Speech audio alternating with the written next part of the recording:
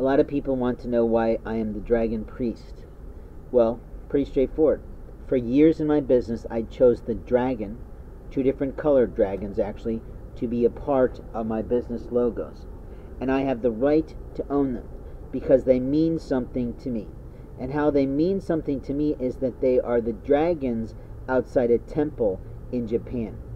I have become a fire being breathing dragon in my own way.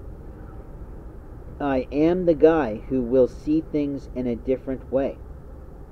I am the guy who can predict things pretty accurately, almost to 100%, because God has gifted me to do that. It is difficult to be that guy who has that discernment.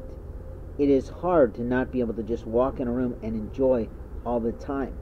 But what I often see all the time is misbehavior of people who are not like me who are not wanting to live in the light of God. So I am that man, that fire breathing dragon, that dragon priest who will burn your ass for your lies. I won't do it immediately, but I will find a way that you'll find that out eventually. You see, I might call your company to say that you are a great person of potential, but at the same time, I might alert your company that what's happening in your situation is that you don't know how to train people and you don't know how to stock the shelves and you don't know how to staff the place.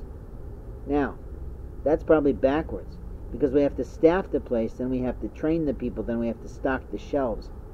But it's not backwards because our whole fucking company premise is that our job is to sell the vended products off the shelves. Now, if you walk across the street to a different shop, they have a totally self selling place. In other words, you walk in, you pick up what you want to buy, you walk to a self checkout, and you buy it. I'm not sure I like that completely, but I do like the freedom I have to walk in without somebody pissing all over me or paying attention to what I'm buying. That's great. I also like the fact that they have some fun things, and I like that. But in life, we have the right to our rights. And my rights to my property belong to me, not you and not to any person from a family of origin, and that is true. Should I die, all my property goes to the one woman I love and her children. And if she's so fucking arrogant that she can't be in my life now, well, that's on her life before God.